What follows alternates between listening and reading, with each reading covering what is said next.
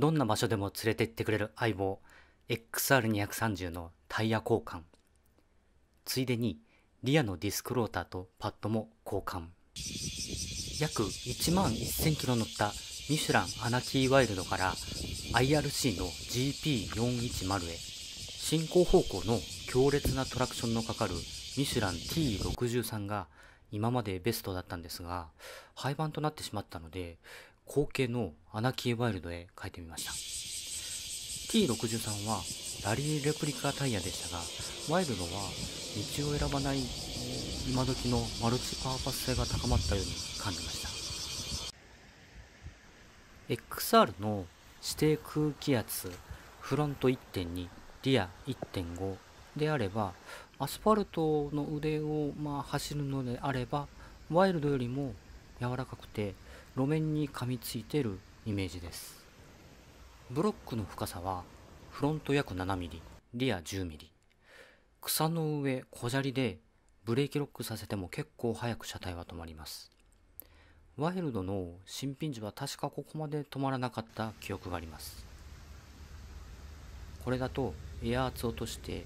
えー、林道に入っても結構グリップしてくれそうですね。GP610 の選択肢もあったんですけどまあ僕はこれでも満足いくかな。いきますね。かなりマディな場所とかまあ競技をするようなところの走破性はまあ問いません。よく見ると段が2段になってます。小さなブロックがちょっと隠れてますね。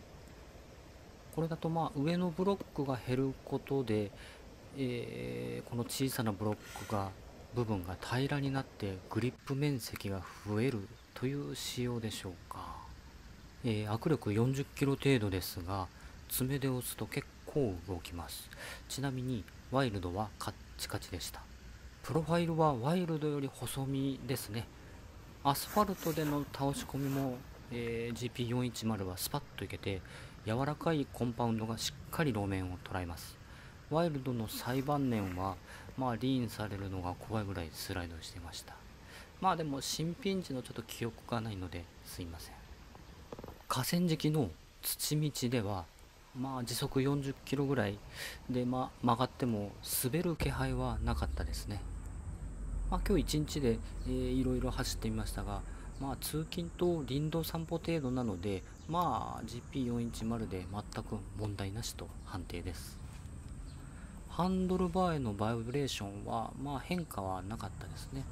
まあ、左手のバイブレーションがひどい XR230 には、アウテックスのレバーガードで対応しようと思います。すでに注文済み。まあ次はでも GP610 も試してみたいかな。